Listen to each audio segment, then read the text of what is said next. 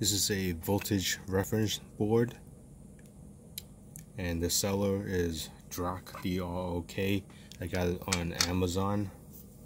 And it is, it is a voltage reference board based on the AD584 chip which is this one here. That's all rusted. It's hard to see. But it is the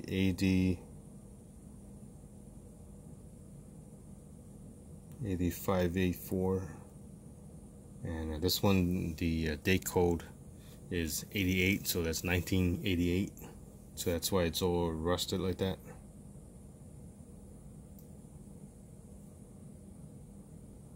And it outputs the standard uh, 2.5 volts 5 volts 7.5 volts 10 volts. The only thing is I added uh, these two wires where the battery goes.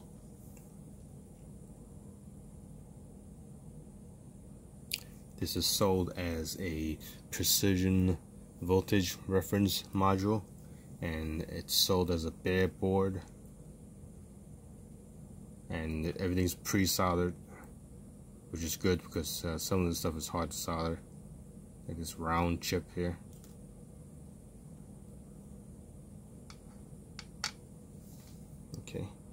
And everything on this board looks like it's uh, salvaged parts. Like the the chip here is AD uh, uh, 840, uh, the AD 84, 8584, and it's uh, sort of rusted and it's, uh, but it's probably a, a genuine analog devices chip. So just because it's salvaged doesn't mean it's terrible because it works. It does work and it works well. Now this thing, the only thing it came with is um, this voltage reference sticker here. Okay. Now I don't know how real this is. It says 2.50060 volts, 5.00121 volts, 7.50276 volts, and 10.00276 volts at 21 Celsius. Now, I, don't know if they just write the same thing for everyone of these boards because uh, there's uh, complaints on the internet saying that some of these stickers are all exactly the same. So, uh, you know. Now, again, that's all it came with is this, this thing, this board in an anti-static bag here. That's it. And I just soldered the two uh, solid copper wires here. These are 22 gauge solid copper wires. And I don't expect instructions because it came with none. So you pretty much have to figure out for yourself. So we, first thing we do is look up the chip, the AD584 chip from Analog Devices. Just Google it, you'll find like a PDF or some kind of spec sheet for it. Uh, describe everything you need to know and then you just trace the uh, circuit board here. Because you can see where it's going. You can see where it's wired like here. You can see it's you know, which pin is wired to what. You can see everything there. And um, so input these are the outputs. Uh, you stick your um, multi-tester here. And that's how it works. Um, the chip its ma absolute maximum voltage is 40 volts and it seems to work well with 12 volts. Uh, anything above 10 volts should work. And it came with two uh, battery clips which uh, so I came with these two clips here battery clips which I guess would fit here. One here and one here but not exactly sure how it doesn't seem to make sense unless it fits on the bottom but that doesn't seem to make a lot of sense either. This battery fits right into uh, this is a uh, 12 volt battery. It's a A23 or 23A it's actually the same and it fits right there. So it would make sense that that's what it's for. Because here you got the battery clip and everything fits right there. And uh, once you power it up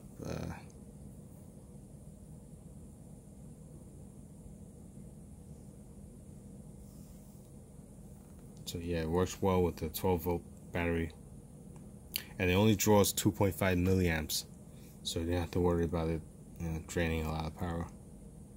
So this would be the battery you would want to use that I'm using. Some people use two 9 volt batteries, but this is much tinier and it works anyway, so. I should mention that the chip is an AD584KH, so it had the, the, the last two letters KH. Alright, so onto the board, um, you got an on-off switch. So it means, on-off.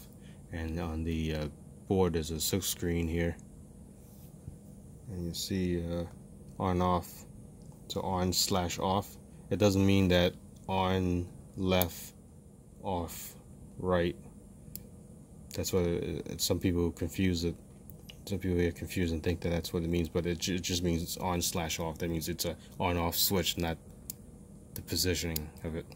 So here would be, and this this slider switch is a four position switch.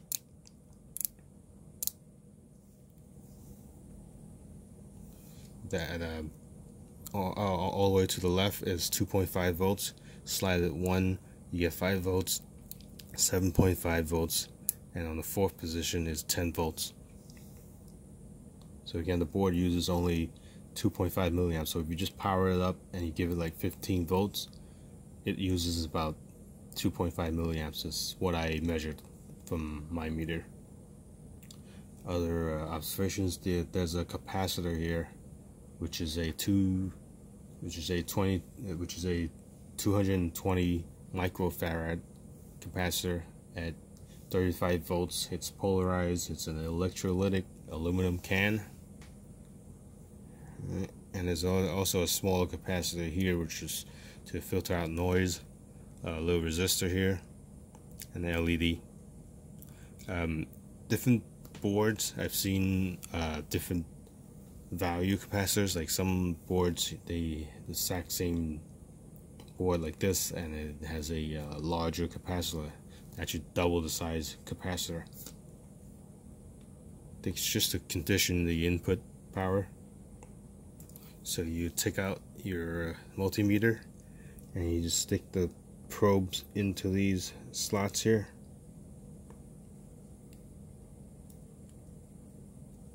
These are these looks like connectors for like electronic connectors. Barrel connectors that you normally find like in the power supply of a computer that plugs into your hard drive like those old connectors that plug right into the hard drive. That's what it looks like. And then I will provide uh, 15 volts.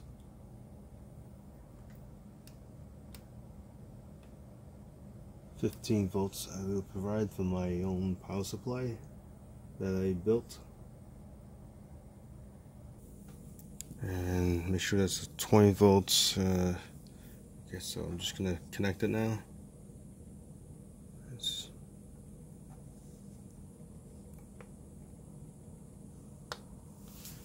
Alright, so I just switch it on. 10 volts. Okay, this meter is calibrated slightly higher, so it's actually 10 volts.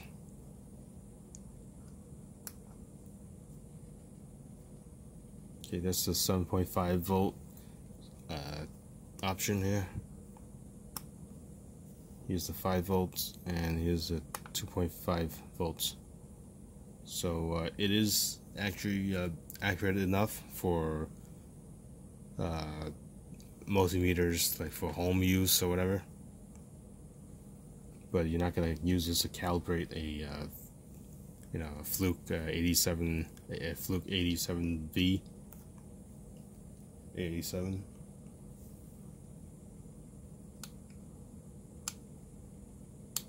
And again, it's calibrated higher, so it's actually 10 volts. Now, there are some issues with it, though. Like, you cannot draw a lot of power out of it. So I have this uh, little panel meter here, this LCD panel meter. And I'm just going to connect it. And I hope you can see while I'm connecting and just watch the meter as it goes down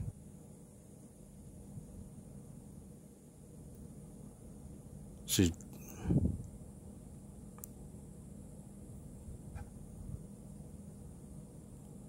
see, it drops the voltage a little. Drops it quite a bit. Of course, this little panel meter draws quite a bit of energy uh, on its own, so that so uh, just a little side note that this uh, voltage reference uh, board will not output a lot of power. Again, it only draws 2.5 milliamps, so you would need you would use this to calibrate a uh, meter anyway, where the meter its uh, input impedance is like several mega ohms, which means it will use like microamps. So this board, so this should not drop any voltage on the board. So if I use two self-powered multimeters, then you can see that it won't, you'll see it won't uh, draw, it won't drop any voltage. So they both have high impedance, which should be several mega ohms, and it should not drop anything.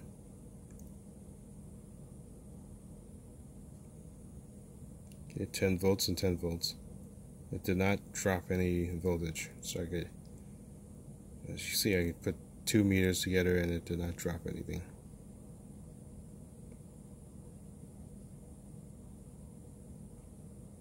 If I can hold it still.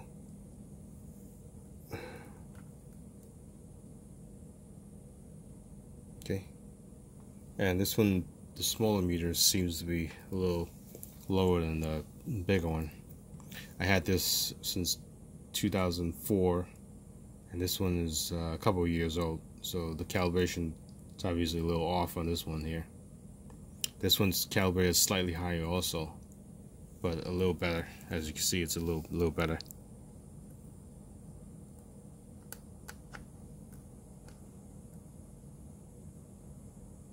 Just slightly off.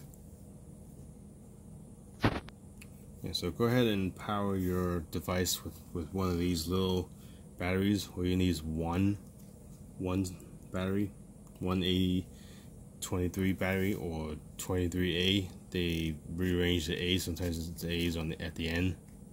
And uh, again, just one will work and it draws very little power. So you keep this in a sealed device. Just make, make sure to change the battery every so often lithium ion. These these uh, if you take it apart, it's several cells inside. I believe it's a battery of eight cells put together to get 12 volts. I think it's eight cells. Right. I've seen uh, many variations of this based on the AD uh, 8, the AD uh, 584 uh, voltage reference chip, uh, various uh, various uh, variations of it. So it's AD 584 KH. What I have, some of them have has an have an L on it, you know, and other companies have uh, salvaged parts and built their own, like a KK Moon, I believe has one that's uh, it's got the acrylic box and a battery built in. Uh, some of them are, are, simpler than this. That cost like three dollars. This this one costs ten dollars on, on Amazon. Some of them are even simpler. That are just a chip and no switch, nothing of that. Just pins, the chip, a few parts, and then like pins all over, so that you would supply your own switch uh, and other parts input output everything's all, all in in uh, pins. And uh, just look around so eBay or anywhere you can get them anywhere. Uh, Amazon eBay all, all of them uh, it's based on the salvaged parts. This part itself the chip itself if you buy just a chip a brand new one it'll cost like at least 30 40 dollars. At least like 20 30 dollars uh, brand new chip so this one, you know, ten dollars already assembled is just, it's a great deal.